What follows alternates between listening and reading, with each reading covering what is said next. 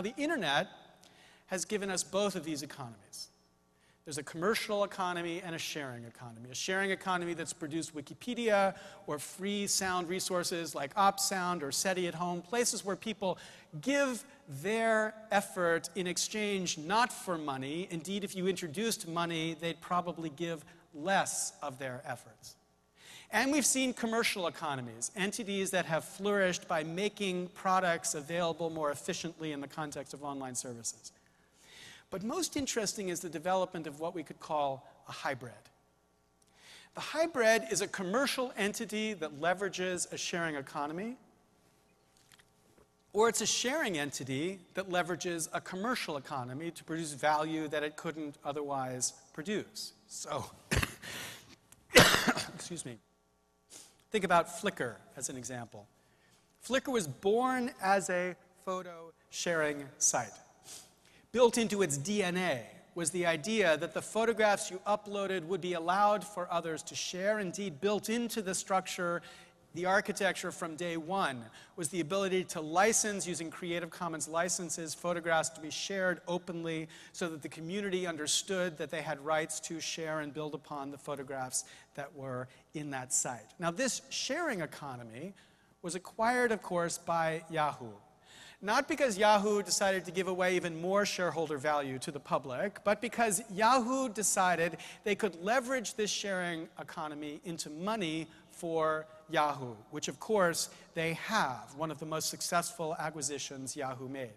Or think about Yelp increasingly spreading across the United States. This is a site where people obsessively spend time giving free reviews to restaurants or to shows or anything else they'd like to rank to others on the site, sharing their views for free, with, of course, the objective of Yelp being to leveraging that shared activity to money for Yelp.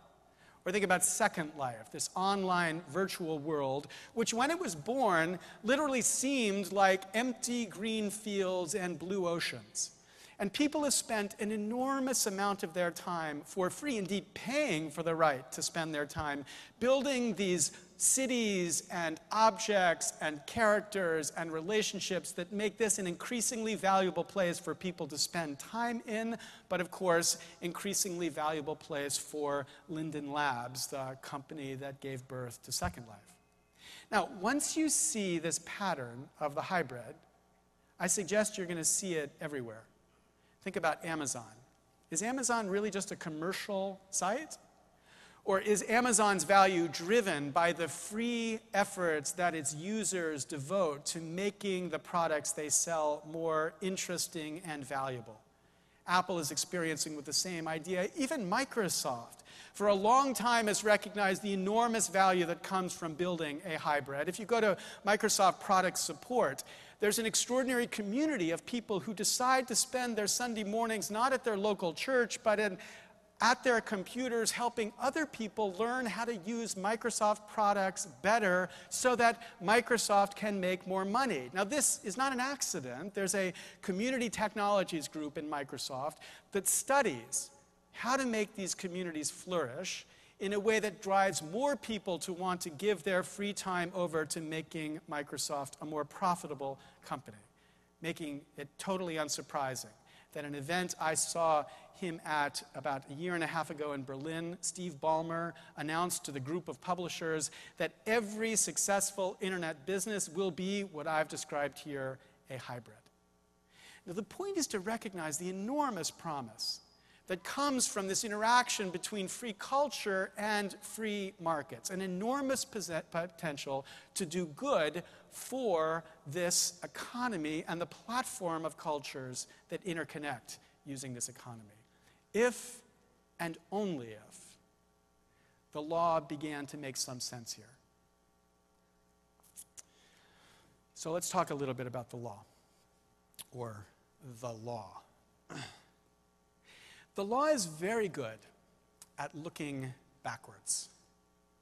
It's very good at sending the cowboys in to deal with last generation's problems, but not very good at understanding the horizon of issues that look ahead. And so too are we faced with that character of law today.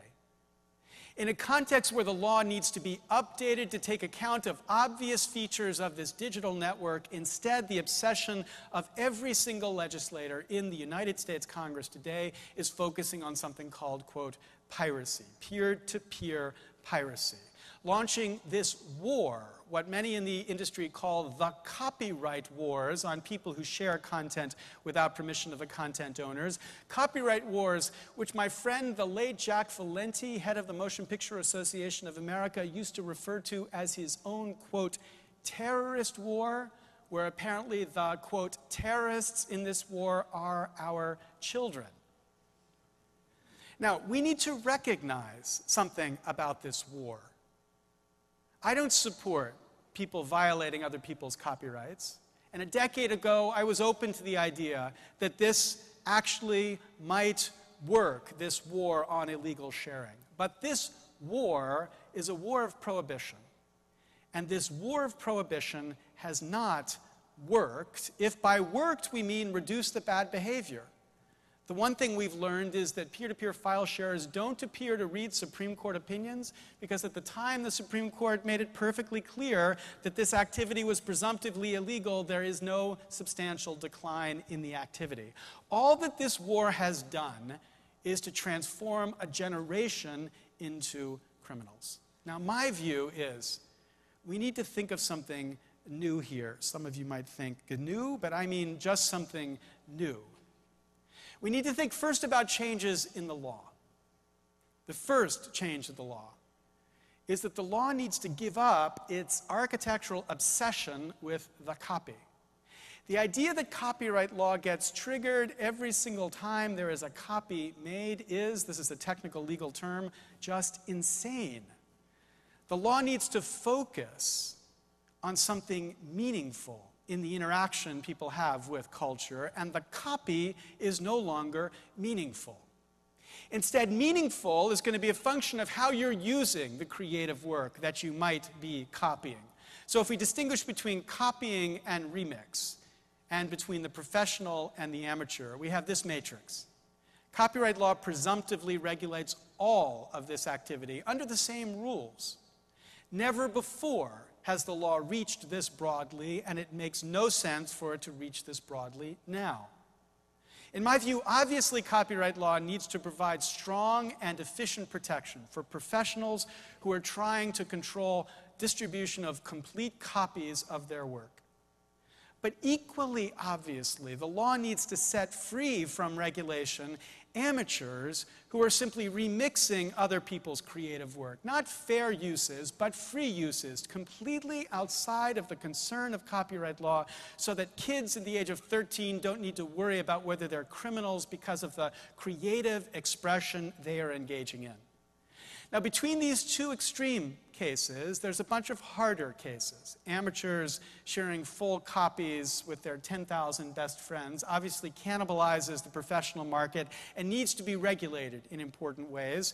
And professionals engaging the act of remix, in some contexts, need to be free under the doctrine of fair use, but in some contexts, need to be regulated to give the original professional the incentive that professional needs.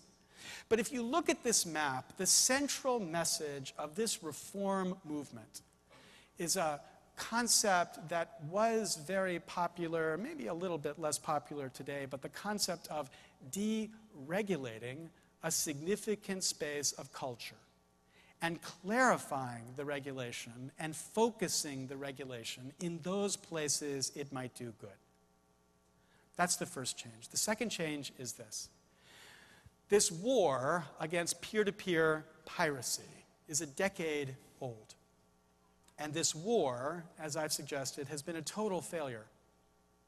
Now, the response of some, indeed a characteristic American response to totally failed wars, is to continue to push forward, to march forward with this war, to wage an ever more effective war against the enemy. That was Jack Valenti's solution to this war. But my response is the opposite where a failed war shows no sign of success. Rather than suing kids in this war, we should be suing for peace.